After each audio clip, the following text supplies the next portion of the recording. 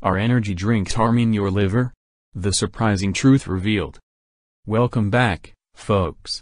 It's time to dive into the world of energy drinks, those caffeinated elixirs that promise to boost our energy levels and keep us going.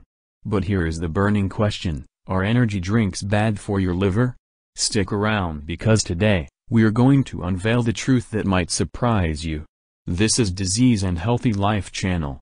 But first, let's hook you in with some eye-opening insights.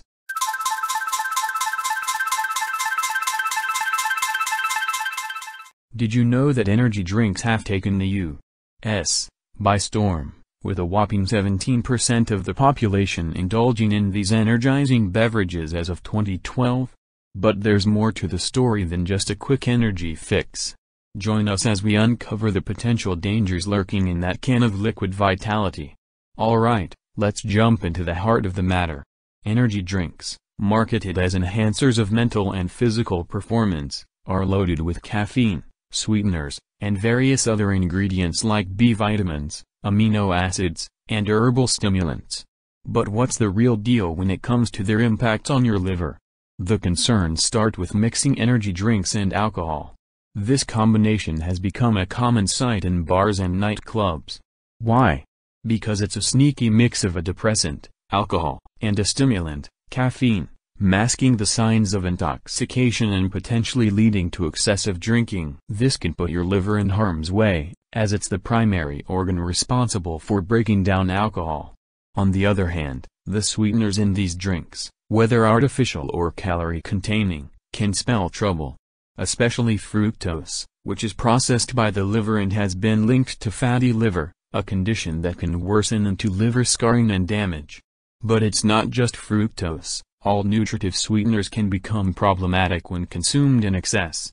Then there's the caffeine issue.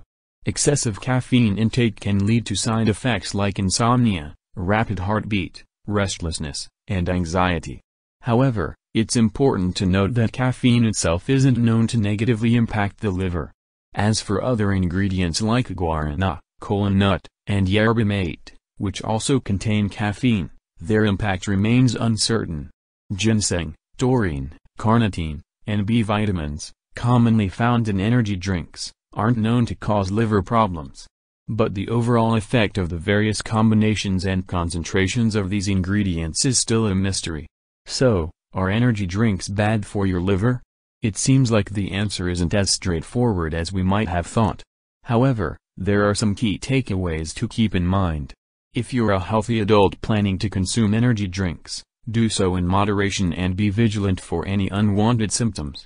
If you're a child or teenager, it's best to avoid these drinks unless your doctor specifically approves moderate use. And finally, if you have any underlying medical conditions, always seek advice from your healthcare provider before indulging in these beverages.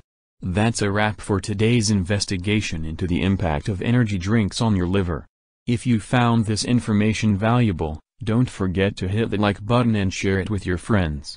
For more intriguing insights and expert advice, make sure to visit our website. Thanks for tuning in, and we'll catch you in the next video. Stay healthy.